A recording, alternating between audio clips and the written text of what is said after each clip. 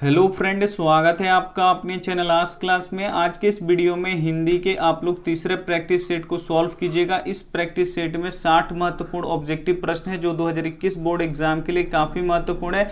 तो एक भी प्रश्न आप स्किप मत कीजिएगा, शुरू से अंत तक देखिएगा, और जो प्रश्न आपको याद नहीं है, उसे नोटबुक पर लिख के याद कर लीजिएगा। प्रैक्टिस सेट करने के बहुत सारे फ़ायदे हैं, प्रैक्टिस सेट कीजिएगा तो जो आप पीछे के प्रश्न याद कर चुके हैं, उसका ये रिविजन कराता है, और साथ में आपको बताता है कि आपकी तैयारी कितनी हुई है, और ये प्रैक्टिस सेट डेली सुबह नौ बजे होता है तो आप लोग नौ बजे लाइव आना बिल्कुल ना भूलें। आइए शुरू करते हैं यहाँ पे पहले नंबर प्रश्न से और पहला प्रश्न देखिए यहाँ पे, अंबेडकर ने भारत की बेरोजगारी का प्रमुख एवं प्रत्यक्ष कारण किसे माना है? ए ऑप्शन है जाति प्रथा को बी ऑप्शन है यहाँ पे कार्य अकुशलता को सी ऑप्शन है उद्योग धंधों की कमी डी ऑप्शन है प्रतिकूल परिस्थितियाँ। तो अंबेडकर जी ने भारत में बेरोजगारी का प्रमुख एवं प्रत्यक्ष कारण किसे माना है? तो जाति प्रथा को माना है, यानी यहाँ पे क्या हो जाएगा? ए ऑप्शन क्या हो जाएगा? यहाँ पे बिल्कुल सही हो जाएगा। ये देखते हैं अगला प्रश्न यहाँ पे। अगला प्रश्न यहाँ पे देखिए, सभ्य समाज की आवश्यकता क्या है? ए ऑप्शन है श्रम विभाजन बी ऑप्शन है जाति प्रथा सी ऑप्शन है अनुबम डी ऑप्शन है दूध पानी। तो यहाँ पे बताना है कि सभ्य समाज की आवश्यकता क्या है? तो सभ्य समाज की आवश्यकता दूध पानी की तरह होना चाहिए, यानी इसी की आवश्यकता है, यानी यहाँ पे डी ऑप्शन क्या हो जाएगा? यहाँ पे बिल्कुल सही हो जाएगा। ये देखते हैं अगला प्रश्न यहाँ पे। अगला प्रश्न यहाँ पे देखिए, तीन नंबर। हु आर सुद्राज किसकी रचना है? ए ऑप्शन है महात्मा गांधी, बी ऑप्शन है यतेंद्र मिश्रा, सी ऑप्शन है भीमराव अंबेडकर, डी ऑप्शन है मैक्स मूलर। काफ़ी महत्वपूर्ण प्रश्न है, हु आर क्षुद्राज किसकी रचना है? तो ये भीमराव अंबेडकर जी की रचना है, यानी यहाँ पे क्या हो जाएगा? सी ऑप्शन क्या हो जाएगा? यहाँ पे बिल्कुल सही हो जाएगा। ये सभी महत्वपूर्ण महत्वपूर्ण प्रश्न है तो एक भी प्रश्न आप स्किप मत कीजिएगा। ये देखते हैं अगला प्रश्न यहाँ पे। अगला प्रश्न यहाँ पे देखिए, बीस के दांत कहानी का प्रमुख पात्र कौन है? जो बीस के दांत कहानी है उसका प्रमुख पात्र कौन है? ए ऑप्शन है गिरधर, बी ऑप्शन है सेन साहब, सी ऑप्शन है खोखा, डी ऑप्शन है सेन साहब की पत्नी। तो बीस के दांत कहानी का मुख्य पात्र कौन है? तो खोखा है, यानी यहाँ पे क्या हो जाएगा? सी ऑप्शन क्या हो जाएगा? यहाँ पे बिल्कुल सही हो जाएगा। ये देखते हैं अगला प्रश्न यहाँ पे। अगला प्रश्न है यहाँ पे, झोपड़ी और महल की लड़ाई में अक्सर कौन जीतते हैं? ए ऑप्शन है महल वाले बी ऑप्शन है झोपड़ी वाले, सी ऑप्शन है दोनों, डी ऑप्शन है कोई नहीं। तो झोपड़ी और महल की लड़ाई में अक्सर कौन जीतते हैं? तो महल वाले जीतते हैं, ये आपको पता होना चाहिए। यानी यहाँ पे ए ऑप्शन क्या हो जाएगा? यहाँ पे बिल्कुल सही हो जाएगा। आइए देखते हैं अगला प्रश्न यहाँ पे। अगला प्रश्न यहाँ पे देखिए, सच्चा भारत कहाँ बसता है? जो सच्चा भारत होता है, वो कहाँ पे बसता है? ए ऑप्शन है गाँव में, बी ऑप्शन है खलिहानों में, सी ऑप्शन है बगीचों में, डी ऑप्शन है गलियों में। तो सच्चा भारत कहाँ बसता है? तो सच्चा भारत कहाँ पे बसता है? गाँव में बसता है, यानी यहाँ पे क्या हो जाएगा? ए ऑप्शन क्या हो जाएगा? यहाँ पे बिल्कुल सही हो जाएगा। ये देखते हैं अगला प्रश्न। यहाँ पे सात नंबर। सात नंबर प्रश्न देखिए यहाँ पे, भारत से हम क्या सीखे? पाठ गद्य की कौन सी विधा है? ए ऑप्शन है भाषण, बी ऑप्शन है निबंध, सी ऑप्शन है कहानी, डी ऑप्शन है रेखा चरित्र। तो जो भारत से हम क्या सीखे, वो क्या है? तो यह एक क्या है? यहाँ पे एक भाषण है, यानी यहाँ पे ए ऑप्शन क्या हो जाएगा? यहाँ पे बिल्कुल सही हो जाएगा। काफ़ी ही महत्वपूर्ण महत्वपूर्ण प्रश्न है तो प्लीज़ आप लोग एक भी प्रश्न स्किप मत कीजिएगा। शुरू से अंत तक देखिएगा, साठ ऑब्जेक्टिव प्रश्न है इसमें। अगर आप हमारे व्हाट्सएप ग्रुप में जुड़ना चाहते हैं तो यहाँ पे ये नंबर है, इस पर सिर्फ़ आप हेलो लिख के भेज दीजिए, हम आपके पास लिंक भेजेंगे, आप यहाँ पे व्हाट्सएप ग्रुप में आप लोग जुड़ सकते हैं। ये हमारा व्हाट्सएप नंबर है, इस पर सिर्फ़ आप हेलो लिख के भेज दीजिए, हम आपको व्हाट्सएप ग्रुप में जोड़ देंगे और जो भविष्य में आपकी जो भी यहाँ पे पीडीएफ ओडीएफ होगा, वो इसी पे सेंड किया जाएगा ताकि आपकी तैयारी बहुत ही अच्छी तरीके से हो जाए और क्लास जो भी होगा, उसका लिंक इसी व्हाट्सएप ग्रुप पे भेज दिया जाएगा ताकि आपसे एक भी क्लास ना छूटे। तो बिल्कुल आप लोग स्टडी ग्रुप में आप लोग जुड़ना बिल्कुल ना भूले। सबसे पहले आप हमें हेलो लिख के भेज दीजिएगा, हम आपको व्हाट्सएप ग्रुप में जोड़ देंगे। आइए देखते हैं अगला प्रश्न यहाँ पे। अगला प्रश्न यहाँ पे देखिए, आठ नंबर, दूसरों के इशारों पर भटकने वाले लोगों को क्या कहते हैं? ए ऑप्शन है विद्वान, बी ऑप्शन है ज्ञानी, सी ऑप्शन है मूढ़, डी ऑप्शन है भले लोग। तो दूसरों के इशारे पर भटकने वाले लोग को क्या बोला जाता है? तो उसको मूढ़ बोला जाता है, यानी यहाँ पे सी ऑप्शन क्या हो जाएगा? यहाँ पे बिल्कुल सही हो जाएगा। ये देखते हैं अगला प्रश्न यहाँ पे। अगला प्रश्न है, मैक्स मूलर के पिता का नाम क्या था? काफ़ी महत्वपूर्ण प्रश्न है। ए ऑप्शन है यहाँ पे, विरहल मूलर बी ऑप्शन है यहाँ पे विलहेम मूलर सी ऑप्शन है यहाँ पे विलहेम्स मूलर डी ऑप्शन है यहाँ पे बिदेन मूलर। तो यहाँ पे देखिए, मैक्स मूलर के पिता का नाम क्या था? तो यहाँ पे सी ऑप्शन क्या हो जाएगा? यहाँ पे बिल्कुल सही हो जाएगा। विलहेल्म मूलर क्या हो जाएगा? यहाँ पे बिल्कुल सही हो जाएगा। यानी सी ऑप्शन क्या हो जाएगा? यहाँ पे बिल्कुल सही हो जाएगा। आइए देखते हैं अगला प्रश्न यहाँ पे। अगला प्रश्न यहाँ पे देखिए, कंठ और केन का जर्मनी भाषा में किसने अनुवाद किया? ए ऑप्शन है हजारी प्रसाद द्विवेदी ने, बी ऑप्शन है अशोक वाजपेयी ने, सी ऑप्शन है अमरकांत ने, डी ऑप्शन है मैक्स मूलर ने। तो कंट और केन का जर्मनी भाषा में अनुवाद किसने किया था? तो मैक्स मूलर ने किया था यानी यहाँ पे डी ऑप्शन क्या हो जाएगा? यहाँ पे बिल्कुल सही हो जाएगा। जो केंट और जो कंट और केन जो पाठ है उसका जर्मनी में भा, जर्मनी भाषा में अनुवाद किसने किया था? तो मैक्स मूलर ने किया था। ये देखते हैं अगला प्रश्न यहाँ पे। अगला प्रश्न यहाँ पे देखिए, ग्यारह नंबर प्रश्न है, शुद्ध वाक्य है। इसमें से पहचानना है कि कौन शुद्ध वाक्य है। ए ऑप्शन यहाँ पे वाष्प निकल रहा है, बी ऑप्शन यहाँ पे वाष्प निकल रहा है, सी ऑप्शन यहाँ पे सिंह दहाड़ रहा है, डी ऑप्शन यहाँ पे संग्रहित किया गया है। इसमें से पहचानना है कि कौन शुद्ध वाक्य है। तो यहाँ पे देखिए, जो वाष्प निकल रहा है, ये क्या होगा? यहाँ पे शुद्ध हो जाएगा। यहाँ पे वाष्प क्या कर दिया है? गलत लिख दिया है। वाष्प कैसे लिखा जाता है? ऐसे लिखा जाता है। यानी यहाँ पे क्या हो जाएगा? बी ऑप्शन क्या हो जाएगा? यहाँ पे बिल्कुल सही हो जाएगा। शुद्ध वाक्य क्या क्या होगा इसमें? वाष्प निकल रहा है। आइए देखते हैं अगला प्रश्न यहाँ पे।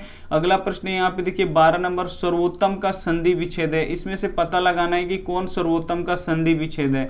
ए ऑप्शन है सर प्लस वोत्तम बी ऑप्शन है यहाँ पे पे सर्वोजोड़तम सी ऑप्शन है यहाँ पे सर्वजोड़ उत्तम डी ऑप्शन है यहाँ पे सर्वोत्त जोड़ मम तो यहाँ पे देखिए सर्वोत्तम का संधि विच्छेद क्या होगा? तो यहाँ पे सर्वजोड़ उत्तम क्या हो जाएगा? यहाँ पे सर्वोत्तम का संधि विच्छेद हो जाएगा, यानी यहाँ पे सी ऑप्शन क्या हो जाएगा? यहाँ पे बिल्कुल सही हो जाएगा। ये देखते हैं अगला प्रश्न यहाँ पे। अगला प्रश्न मुहावरा है यहाँ पे गुस्सा पीना मुहावरे का अर्थ है। यहाँ पे बताना है कि गुस्सा पीना मुहावरे का क्या अर्थ होता है? ए ऑप्शन है गुस्सा होना, बी ऑप्शन है क्रोध दबाना, सी ऑप्शन है गुस्से में पानी पीना डी ऑप्शन है, क्रोधित होना। तो यहाँ पे देखिए, गुस्सा पीना मुहावरे का सही अर्थ क्या होता है? तो अपना क्रोध को क्या कर देना? दबाना यही होता है, गुस्सा पीना। यानी यहाँ पे क्या हो जाएगा? बी ऑप्शन क्या हो जाएगा यहाँ पे? बिल्कुल सही हो जाएगा। काफ़ी महत्वपूर्ण महत्वपूर्ण प्रश्न है। तो चैनल को अभी तक आपने सब्सक्राइब नहीं किया है तो प्लीज़ आप लोग चैनल को सब्सक्राइब कर लीजिए और वीडियो को आप लोग प्लीज़ लाइक भी कर दीजिए। आइए देखते हैं अगला प्रश्न यहाँ पे। अगला प्रश्न यहाँ पे देखिए, चौदह नंबर प्रश्न है। यहाँ पे परंपरा का मूल्यांकन के रचनाकार है। यहाँ पे बताना है कि परंपरा के मूल्यांकन जो पाठ है, उसके रचना रचनाकार यहाँ पे कौन है? ए ऑप्शन है यहाँ पे रामविलास शर्मा, बी ऑप्शन है गुणाकर मूले, सी ऑप्शन है अशोक वाजपेयी डी ऑप्शन है महात्मा गांधी। तो परंपरा का मूल्यांकन जो पाठ है उसके रचनाकार कौन है? तो रामविलास शर्मा है, यानी यहाँ पे ए ऑप्शन क्या हो जाएगा? यहाँ पे बिल्कुल सही हो जाएगा। ये देखते हैं अगला प्रश्न यहाँ पे पंद्रह नंबर। पंद्रह नंबर प्रश्न है, एक पतंग अनंत में किन की रचना है? ए ऑप्शन है हजारी प्रसाद द्विवेदी, बी ऑप्शन है विनोद कुमार शुक्ल, सी ऑप्शन है यतीन्द्र मिश्र, डी ऑप्शन है यहाँ पे अशोक वाजपेयी तो एक पतंग अनंत में ये किन की रचना है? तो ये अशोक वाजपेयी जी की है, यानी यहाँ पे क्या हो जाएगा? डी ऑप्शन क्या हो जाएगा? यहाँ पे बिल्कुल सही हो जाएगा। आइए देखते हैं अगला प्रश्न यहाँ पे। अगला प्रश्न यहाँ पे देखिए, सोलह नंबर, अशोक वाजपेयी का जन्म कब हुआ था? जो अशोक वाजपेयी लेखक है, उनका जन्म कब हुआ था? ए ऑप्शन है 16 जनवरी 1942 ईस्वी में बी ऑप्शन है 16 जनवरी 1941 ईस्वी में। सी ऑप्शन है 16 जनवरी 1940 ईस्वी में, डी ऑप्शन है 16 जनवरी 1943 ईस्वी में।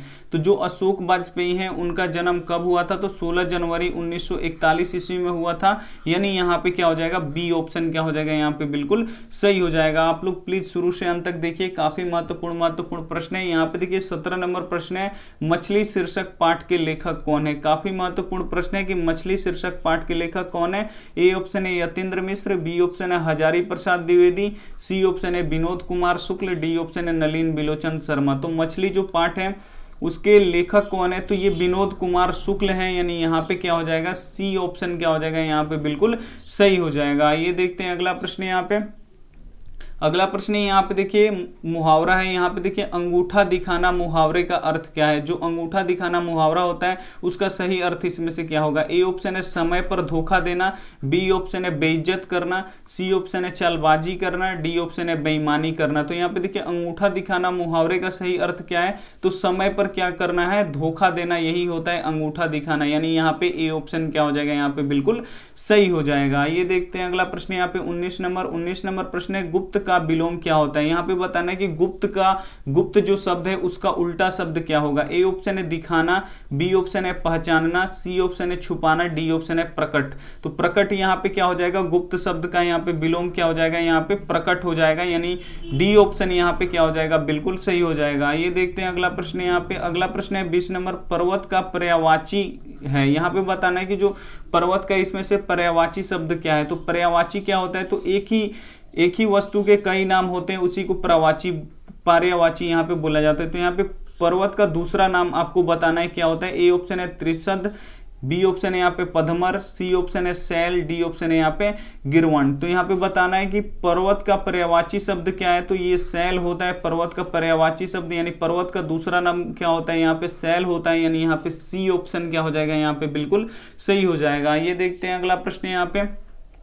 अगला प्रश्न यहाँ पे देखिए 21 नंबर लंबोदर कौन सा समास है? यहाँ पे बताना है कि लंबोदर कौन सा समास है? ए ऑप्शन है तत्पुरुष, बी ऑप्शन है कर्म धारण, सी ऑप्शन है बहुब्रीगी डी ऑप्शन है यहाँ पे अवयवी भाव। तो यहाँ पे बताना है कि लंबोदर कौन सा समास है? तो लंबोदर कौन सा समास है? यहाँ पे बहुविर्गी है। यानी यहाँ पे सी ऑप्शन क्या हो जाएगा? यहाँ पे बिल्कुल सही हो जाएगा। ये देखते हैं अगला प्रश्न यहाँ पे। अगला प्रश्न यहाँ पे देखिए, लड़का आया था कौन काल है? यहाँ पे बताना है कि लड़का आया था वो कौन सा काल है? ए ऑप्शन यहाँ पे वर्तमान काल। बी ऑप्शन है भूतकाल, सी ऑप्शन है भविष्य काल डी ऑप्शन है इनमें से कोई नहीं। तो वर्तमान काल किसे कहते हैं? जो अभी चल रहा है उसे वर्तमान काल कहते हैं। जो बीत गया, उसे हम लोग भूतकाल जो आने वाला है, उसे हम लोग भविष्य काल बोलते हैं। तो लड़का आया था मतलब वो भूतकाल की बात है, वो बात बीत चुकी है यहाँ पे कि लड़का आया था तो ये कौन सा हो जाएगा? यहाँ पे भूतकाल हो जाएगा। जो लड़का आया था, ये कौन सा काल है? तो ये भूतकाल है, यानी यहाँ पे बी ऑप्शन क्या हो जाएगा? यहाँ पे बिल्कुल सही हो जाएगा। अगर ये होता कि लड़का आया है, यानी अभी है तो ये वर्तमान काल हो जाता। अगर ये ही प्रश्न रहता कि लड़का आएगा तो ये भविष्य की बात होगी कि यहाँ पे लड़का आएगा तो वो क्या हो जाता है यहाँ पे? भविष्य हो जाता। है आइए देखते हैं अगला प्रश्न यहाँ पे। अगला प्रश्न, आम का पर्यावाची होगा। यहाँ पे आम का फिर दूसरा नाम बताना है। पर्यावाची का मतलब होता है दूसरा नाम। तो आम का जो दूसरा नाम है, वो बताना है आपको। ए ऑप्शन है बाजी, बी ऑप्शन है हथ, सी ऑप्शन है सैधव, डी ऑप्शन है यहाँ पे आम्र। तो यहाँ पे देखिए, आम का पर्यावाची शब्द क्या होगा? यहाँ पे आम्र होगा, यानी यहाँ पे क्या हो जाएगा? डी ऑप्शन क्या हो जाएगा? यहाँ पे बिल्कुल सही हो जाएगा। अगर वीडियो अच्छी लग रही हो तो आप लोग प्लीज़ वीडियो को लाइक भी कर दीजिए। आइए देखते हैं अगला प्रश्न। यहाँ पे चौबीस नंबर चौबीस नंबर प्रश्न है, धनहीन में कौन सा समास है? यहाँ पे बताना है कि धनहीन कौन सा समास है? ए ऑप्शन है तत्पुरुष, बी ऑप्शन है अवयवी भाव, सी ऑप्शन है कर्म धारण, डी ऑप्शन है यहाँ पे द्वंद्व। तो यहाँ पे बताना है कि जो धनहीन है, उसमें कौन सा यहाँ पे समास है? तो धनहीन में कौन सा समास है? तो तत्पुरुष समास है, यानी यहाँ पे ए ऑप्शन क्या हो जाएगा? यहाँ पे बिल्कुल सही हो जाएगा। ये देखते हैं अगला प्रश्न, यहाँ पे 25 नंबर 25 नंबर प्रश्न है माता पिता कौन सा समास है? यहाँ पे बताना है कि जो माता पिता है, उसमें कौन सा समास है? ए ऑप्शन है द्विगु बी ऑप्शन है तत्पुरुष, सी ऑप्शन है कर्म धारण, डी ऑप्शन है यहाँ पे द्वंद्व तो यहाँ पे बताना है कि माता पिता में कौन से समास है? तो माता पिता में कौन से समास है? द्वंद्व है, यानी यहाँ पे डी ऑप्शन क्या हो जाएगा? यहाँ पे बिल्कुल सही हो जाएगा। ये देखते हैं अगला प्रश्न, छब्बीस नंबर। छब्बीस नंबर प्रश्न यहाँ पे देखिए। अनुराग में कौन सा उपसर्ग है? ए ऑप्शन है अनु, बी ऑप्शन है अ, सी ऑप्शन है अभी, डी ऑप्शन है यहाँ पे सु। तो यहाँ पे देखिए, अनुराग में कौन सा उपसर्ग है? तो जो ये अनु उपसर्ग है यहाँ पे, यानी यहाँ पे क्या हो जाएगा? ए ऑप्शन क्या हो जाएगा? यहाँ पे बिल्कुल सही हो जाएगा। ये देखते हैं अगला प्रश्न यहाँ पे।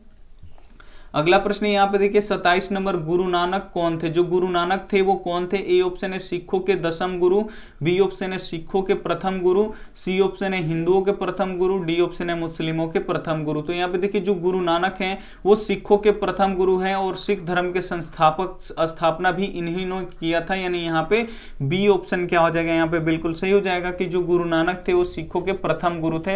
यानी यहाँ पे बी ऑप्शन क्या हो जाएगा? यहाँ पे बिल्कुल सही हो जाएगा। आइए देखते हैं अगला प्रश्न यहाँ पे। पे जपूजी किनकी रचना है। यहाँ पे जो जपूजी है, वो किनकी रचना है? ए ऑप्शन है कबीर की, बी ऑप्शन है रहीम की, सी ऑप्शन है यहाँ पे गुरु नानक की, डी ऑप्शन है यहाँ पे घनानंद की। तो यहाँ पे देखिए, जपूजी किनकी रचना है? तो जपूजी किनकी रचना है तो ये गुरु नानक की रचना है, यानी यहाँ पे सी ऑप्शन क्या हो जाएगा? यहाँ पे बिल्कुल सही हो जाएगा। ये देखते हैं अगला प्रश्न यहाँ पे, उन्तीस नंबर उन्तीस नंबर प्रश्न है यहाँ पे, नाखून क्यों बढ़ते हैं? हिंदी की कौन सी विधा है? ए ऑप्शन है ललित निबंध, बी ऑप्शन है कहानी, सी ऑप्शन है कविता। कविता डी ऑप्शन है उपन्यास। तो यहाँ पे देखिए नाखून क्यों बढ़ते हैं? हिंदी की कौन सी विधा है? तो ये एक ललित निबंध है। यानी यहाँ पे क्या हो जाएगा? ए ऑप्शन क्या हो जाएगा? यहाँ पे बिल्कुल सही हो जाएगा। ये देखते हैं अगला प्रश्न यहाँ पे।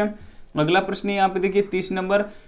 विरह लीला किन की रचना है? यहाँ पे बताना है कि विरह लीला है, वो किसकी रचना है? ए ऑप्शन है रसखान की, बी ऑप्शन है कबीर की, सी ऑप्शन है घनानंद की, डी ऑप्शन है यहाँ पे प्रेमघन की। तो यहाँ पे बताना है कि जो विरह लीला है, वो किन की रचना है? तो वो घनानंद की रचना है, यानी यहाँ पे क्या हो जाएगा? सी ऑप्शन क्या हो जाएगा? यहाँ पे बिल्कुल सही हो जाएगा। ये देखते हैं अगला प्रश्न यहाँ पे। अगला प्रश्न है, घनानंद का जन्म कब हुआ था? जो घनानंद थे, उनका जन्म कब हुआ था? ए ऑप्शन है सोलह ईस्वी के आसपास, बी ऑप्शन है सोलह ईस्वी के आसपास सी ऑप्शन है सोलह ईस्वी के आसपास डी ऑप्शन है यहाँ पे सोलह ईस्वी के आसपास। तो जो घनानंद थे, उनका जन्म कब हुआ था, ये काफ़ी महत्वपूर्ण प्रश्न है।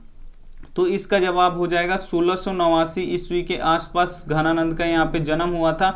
यानी यहाँ पे डी ऑप्शन क्या हो जाएगा, यहाँ पे बिल्कुल सही हो जाएगा। ये देखते हैं अगला प्रश्न, यहाँ पे बत्तीस नंबर। बत्तीस नंबर प्रश्न है, स्वदेशी कविता किसके किससे संकलित है? यहाँ पे बताना है कि जो स्वदेशी कविता है वो किससे संकलित है? ए ऑप्शन है प्रेम घन के सर्वस्व से, बी ऑप्शन है जीर्ण जनपद से, सी ऑप्शन है भारत प्रयाग से, डी ऑप्शन यहाँ पे प्रयाग रामागमन से। तो यहाँ पे बताना है कि सो जो स्वदेशी कविता है वो किससे संकलित है?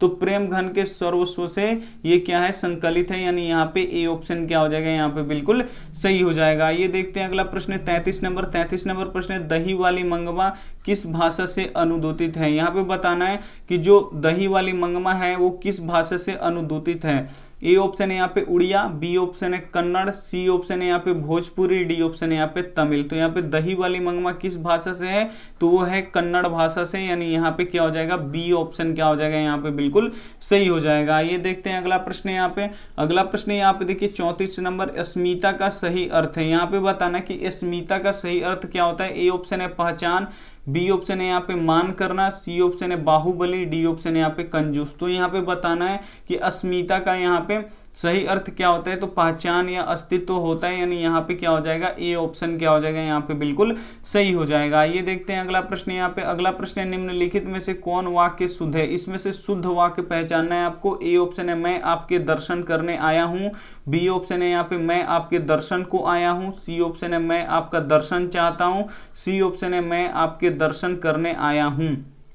तो यहाँ पे देखिए, आपके यहाँ पे क्या हो जाएगा निम्न में से कौन यहाँ पे जो वाक्य है वो शुद्ध है तो यहाँ पे ए ऑप्शन क्या हो जाएगा यहाँ पे बिल्कुल सही हो जाएगा मैं आपका दर्शन करने आया हूँ यानी यहाँ पे ए ऑप्शन क्या हो जाएगा यहाँ पे बिल्कुल सही हो जाएगा जो ए ऑप्शन है वो क्या है यहाँ पे शुद्ध वाक्य है यानी यहाँ पे ए ऑप्शन क्या हो जाएगा यहाँ पे बिल्कुल सही हो जाएगा ये देखते हैं अगला प्रश्न यहाँ पे छत्तीस नंबर छत्तीस नंबर प्रश्न है संज्ञा के कितने भेद होते हैं यहाँ पे बताना है कि संज्ञा के कितने भेद होते हैं ए ऑप्शन है दो बी ऑप्शन है चार सी ऑप्शन है पाँच डी ऑप्शन है आठ। तो यहाँ पे बताना है कि संज्ञा के कितने भेद होते हैं? तो संज्ञा के कितने भेद होते हैं? पाँच भेद होते हैं, यानी यहाँ पे सी ऑप्शन क्या हो जाएगा? यहाँ पे बिल्कुल सही हो जाएगा। ये देखते हैं अगला प्रश्न। यहाँ पे सैंतीस नंबर। सैंतीस नंबर प्रश्न है टॉल्स टॉय कौन थे? जो टॉल्स टॉय थे, वो कौन थे? ए ऑप्शन है हिंदी लेखक बी ऑप्शन है अंग्रेज़ी लेखक सी ऑप्शन है रूसी लेखक डी ऑप्शन है यहाँ पे फ्रेंच लेखक।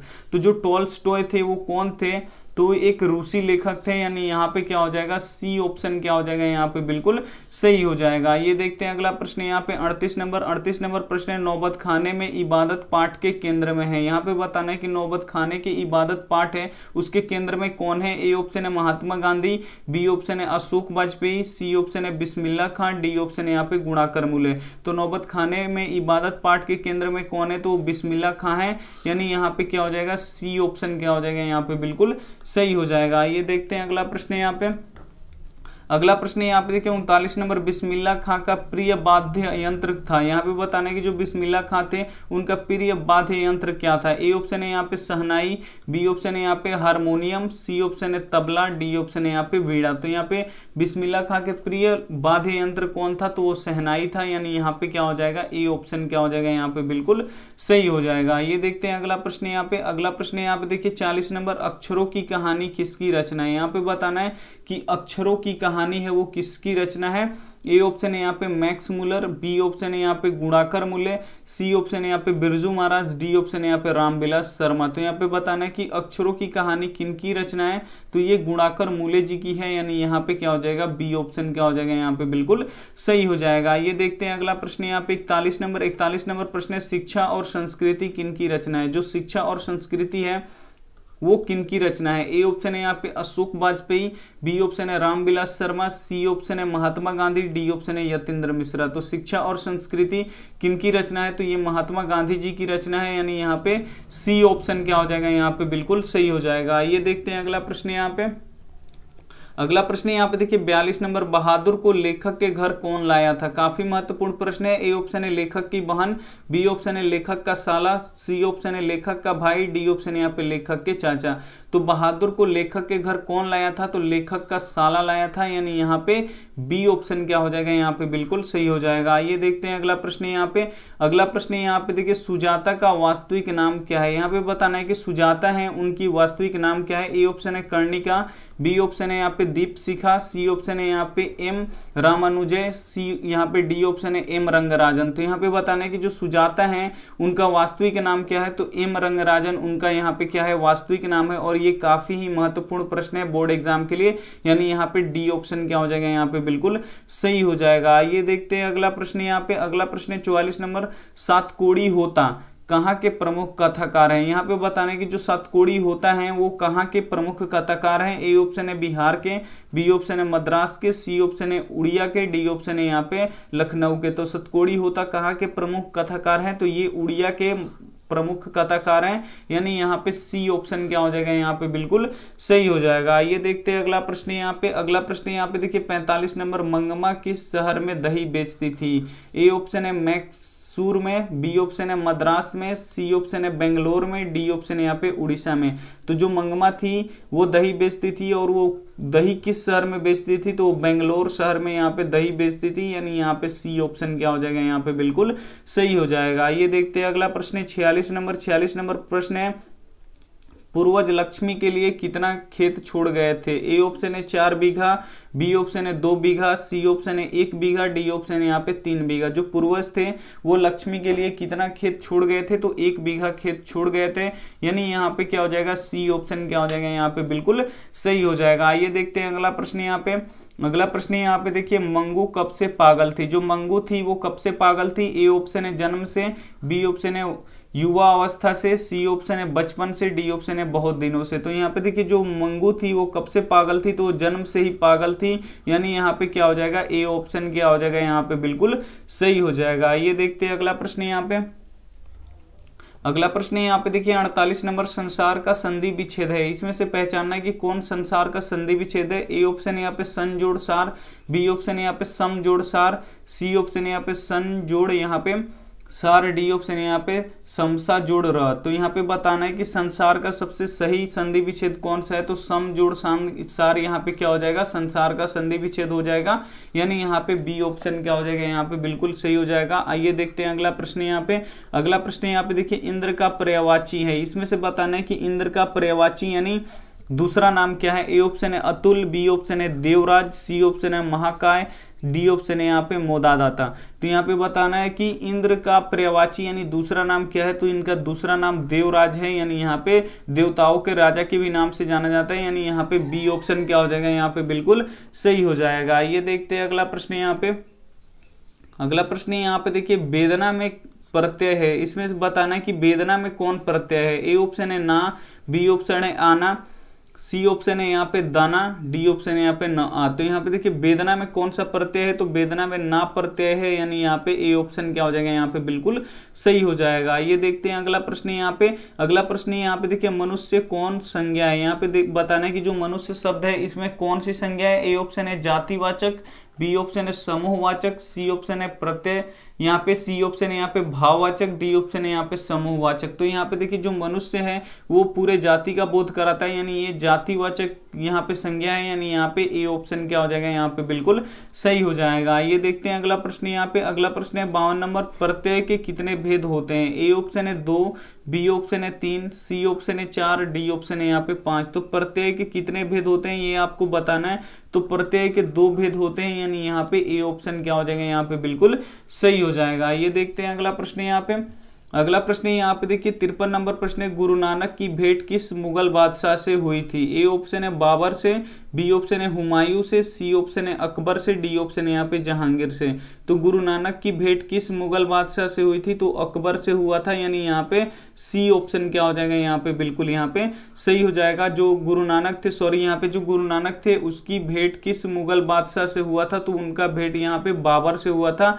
यानी यहाँ पे क्या हो जाएगा? ए ऑप्शन क्या हो जाएगा? यहाँ पे बिल्कुल ए ऑप्शन क्या हो जाएगा? यहाँ पे बिल्कुल सही हो जाएगा। जो गुरु नानक थे, उनका भेंट किस मुगल बादशाह से हुआ था? तो यानी बाबर से हुआ था, यानी ए ऑप्शन क्या हो जाएगा? यहाँ पे बिल्कुल सही हो जाएगा। आइए देखते हैं अगला प्रश्न यहाँ पे।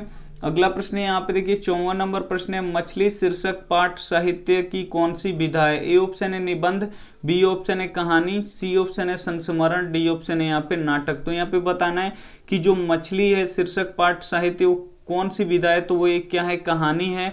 यानी यहाँ पे क्या हो जाएगा बी ऑप्शन क्या हो जाएगा, यहाँ पे बिल्कुल सही हो जाएगा। ये देखते हैं अगला प्रश्न है, पचपन नंबर। पचपन नंबर प्रश्न है, हम बार बार नाखून क्यों काटते हैं? ए ऑप्शन है, स्वच्छ रखने के लिए। बी ऑप्शन है, यहाँ पे बर्बरता, समापन हेतु।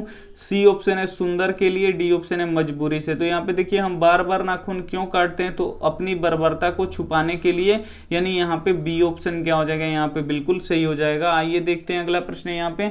अगला प्रश्न यहाँ पे देखिए, छप्पन नंबर प्रश्न है, नागरी लिपि पाठ साहित्य की कौन सी विधा है? ए ऑप्शन है निबंध है, बी ऑप्शन है डायरी है, सी ऑप्शन है नाटक है, डी ऑप्शन है कहानी है। तो यहाँ पे बताना है कि जो नागरी लिपि पाठ है, वो साहित्य की कौन सी विधा है? तो वो एक निबंध है, यानी यहाँ पे ए ऑप्शन क्या हो जाएगा? यहाँ पे बिल्कुल सही हो जाएगा। ये देखते हैं अगला प्रश्न संतावन नंबर संतावन नंबर प्रश्न है, यहाँ पे पठित पाठ के आधार पर बतलाइए कि मोटर कार को खतरा किससे हो सकता है? ए ऑप्शन है सीमा से, बी ऑप्शन है रजनी से, सी ऑप्शन है आली से, डी ऑप्शन है खोखा से।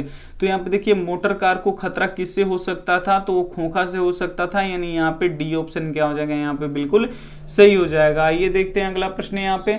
अगला प्रश्न यहाँ पे देखिए अंठावन नंबर प्रश्न है, भाईचारे का दूसरा नाम क्या है? ए ऑप्शन है राजतंत्र, बी ऑप्शन है लोकतंत्र, सी ऑप्शन है श्रम, डी ऑप्शन है सहयोग। तो भाईचारे का यहाँ पे दूसरा नाम क्या है? तो भाईचारे का यहाँ पे दूसरा नाम लोकतंत्र है, यानी यहाँ पे बी ऑप्शन क्या हो जाएगा? यहाँ पे बिल्कुल सही हो जाएगा। आइए देखते हैं अगला प्रश्न यहाँ पे।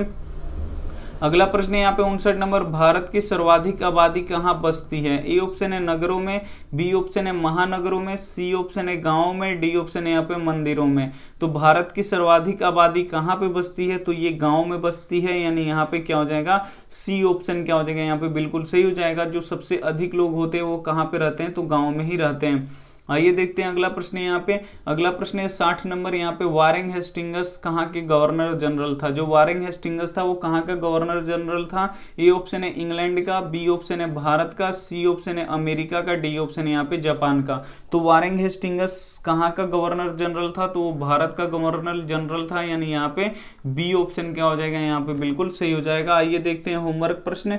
होमवर्क प्रश्न यहाँ पे देखिए, कवि ने माली मालिन किसे कहा है? यहाँ पे बताना है कि कवि ने माली माली मालिन किसे कहा है? ए ऑप्शन है शंकर पार्वती, बी ऑप्शन है गणेश लक्ष्मी, सी ऑप्शन है कृष्णा राधा, डी ऑप्शन है यहाँ पे राम सीता। तो जो भी आपको कॉमेंट इसमें से सही लगे ऑप्शन वो आप हमें कमेंट कर सकते हैं। वीडियो अच्छी लगी हो तो प्लीज़ आप लोग वीडियो को लाइक भी कर दीजिए। अपने दोस्तों के पास इसे ज़रूर शेयर कीजिएगा। चैनल को अभी तक आपने सब्सक्राइब नहीं किया तो प्लीज़ आप लोग चैनल को सब्सक्राइब कर लीजिएगा। सब्सक्राइब करने के बाद एक बेल आइकन आता है, उसको ऑल पे दबा लीजिएगा। और थैंक यू फॉर वॉचिंग। मिलते हैं अगले वीडियो में। तब तक अपना ध्यान रखिए। Take care and bye.